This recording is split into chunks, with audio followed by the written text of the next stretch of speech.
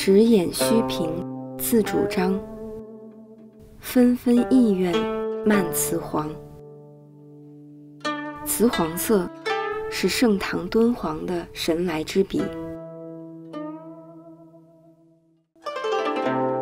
赤、青、黄、白、黑是中国传统五色，而雌黄色是黄色中最富艺术气息的颜色。西晋时期，有个清谈家叫王衍。每天最喜欢高谈阔论，但他说的话往往前后矛盾，漏洞百出。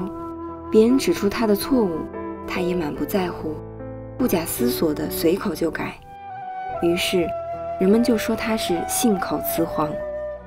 其实，雌黄是一种黄色的矿物颜料。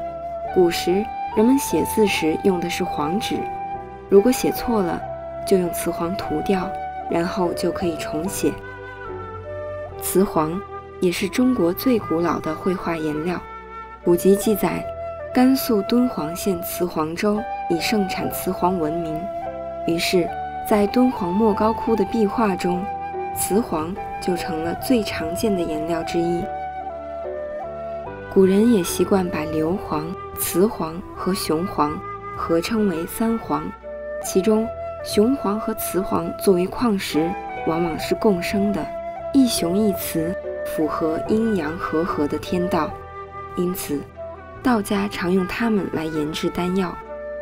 雌黄是粗糙的矿石，是古老的祭药，也是盛唐敦煌的神来之笔。